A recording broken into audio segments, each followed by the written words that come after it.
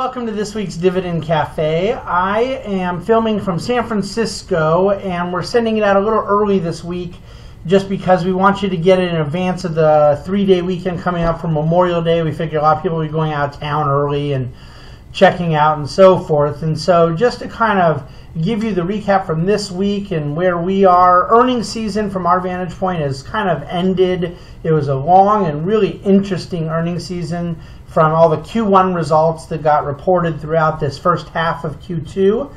And now we're in that kind of lull that takes place every quarter where there's sort of another month that goes by um, before there's new earnings results and quarterly announcements from portfolio companies and the market takes its P's and Q's from something different. Uh, it, it, traditionally still has regular market volatility in this period, but it's not so much company driven, but more maybe macro. Certainly over the years, there's often times where the Fed and monetary events could be driving things.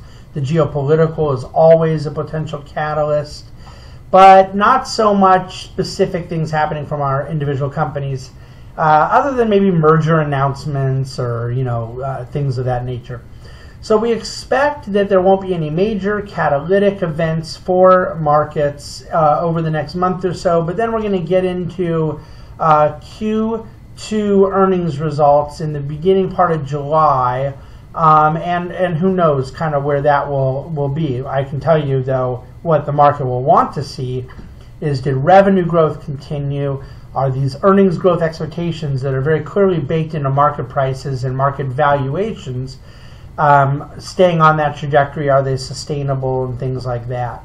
The reason I'm up in San Francisco right now, I've been in uh, partner meetings here with the Hightower community. As you know, the Bahnsen Group is affiliated with Hightower Advisors. They provide a lot of our back office, middle office services serving as that legal fiduciary framework that is just so core to what we do. Had some outstanding meetings and idea sharing among some of the top uh, advisor teams in the entire country. And uh, most of these guys and gals have become very good friends of ours and really outstanding professionals. And it's always a pleasure to be up here. Um, but in terms of where the market is right now, our our thought this week that we want to leave you with has to do with this uh, Goldilocks economy, so to speak. I hate using cliches that other pundits and analysts may be using, but the reality is that this data I've been studying this week is so crystal clear that you have an economy that is really not too hot and not too cold.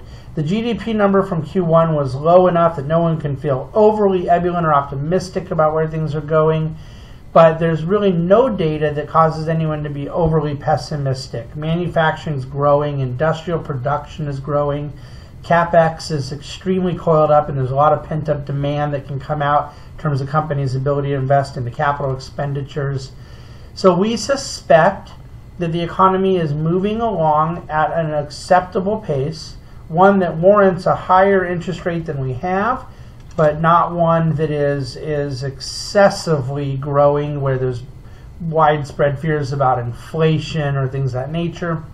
But then the, a little accelerant gets put on the present economic trajectory, something more stimulative on the fiscal front. Um, yes, infrastructure could very well prove to be a part of that, although as non-Keynesians and um, not really very optimistic about what infrastructure could mean to interest rates if it's a lot of deficit borrowing. That's not the theme we get too excited about. But more on the tax reform side, we, we do believe that that will get done through time. There's some political complexity around that, but that that will itself be an accelerant to GDP economic growth. You combine that with a little bit better of a landscape for global economic conditions um, and overall, it's it's a pretty justifiable paradigm for how people feel about markets right now. Interest rates have stayed low, and certainly we continue to watch bond market risk for that reason. So I think that the economy is doing what most people think it's doing, which is moving forward, but not at a ridiculous pace. And, and we don't see any recessionary risks in the immediate future at all. That could definitely change. Right now, though, the data isn't pointing to it. So we wait for the next earnings season. We obviously have to keep our eyes on the geopolitical. We actually have had a reasonably non dramatic week so far as of filming time in the U.S. political front. And, and that's our take on things in the short term. So we'll leave you there. Uh, thanks for listening to Dividend Cafe. Please do uh, check out dividendcafe.com because there is a full report this week that has a lot of other charts. We explore some other areas you may be interested in. We'd love for you to, to pick that up as well and then go enjoy your Memorial Day weekend.